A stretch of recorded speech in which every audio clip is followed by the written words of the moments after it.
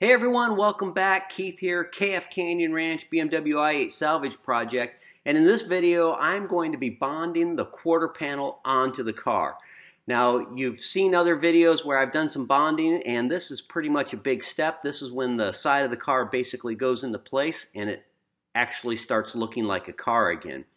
So everything gets a final wipe here with some isopropyl alcohol to make sure that it's grease free and contaminant free. And then I start putting down the epoxy. Now this is the Permabond two-part epoxy. They're ET5429, which is made for carbon fiber.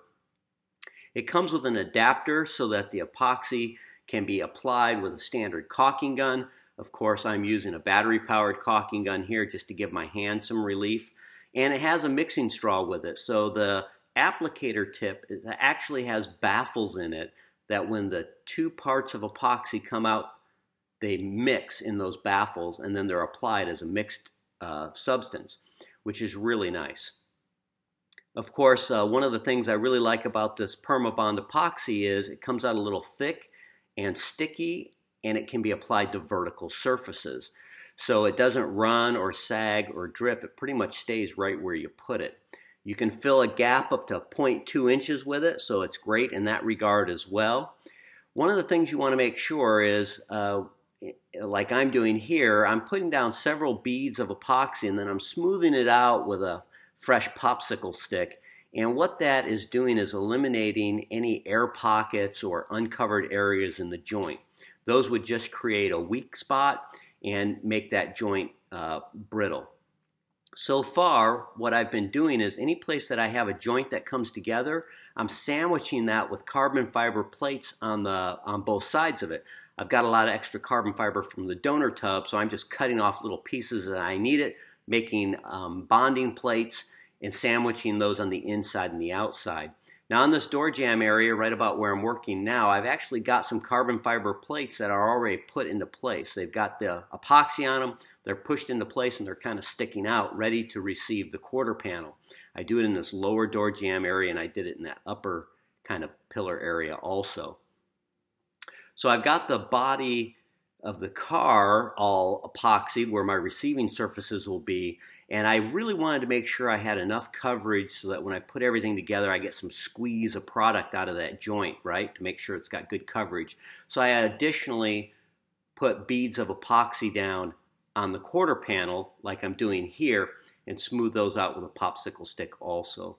Now that lower carbon fiber frame area where I have those uh, carbon fiber plates on the inside, they actually mate up with the area just a little to my right there. You can kind of see the end of that quarter panel lower frame area, that carbon fiber lower frame area. That's filled with a foam. It's right below where I'm working now. That foam is very similar to like a house insulation. It's dense, provides no strength. I think it's there for sound deadening. So you can see I've got some slots relieved out of there, and that's what I'm filling right now. And that is where those receiving plates go to bond the inside of that carbon fiber frame area together.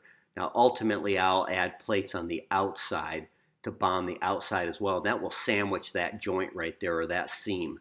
And it, by all accounts, um, you know, I've been doing this on the sub, the, the, the seat pan in the back and the bulkhead there, and it, it seems like it's going to work just fantastic. So I dry fitted everything before and it fit like a champ, but of course now that I've got it all packed full of epoxy, it's giving me a little bit of a problem, but nothing a little 2x4 can't help with, right? A little push and pull, a whack with the rubber mallet, everything starts going into place.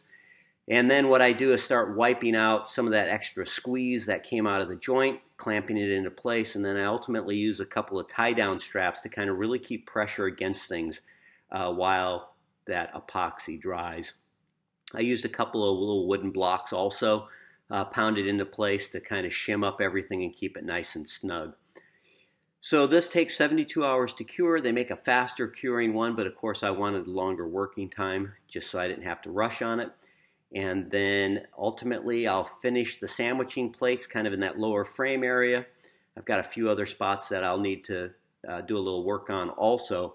But by all accounts, uh, putting this quarter panel into place went fantastic and it seems like it's going to work like a champ. So that's your update. Uh, great to have this kind of progress, and thank you all for watching, liking, and subscribing. Please share with your friends. And again, a big thanks to Permabond. Uh, their product is fantastic. I really appreciate them sending it out to me and sponsoring sponsoring me on this product project.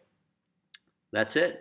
Uh, at, feel free to add comments below. I don't mind. I don't mind responding uh, to questions, and we'll see you on the next video.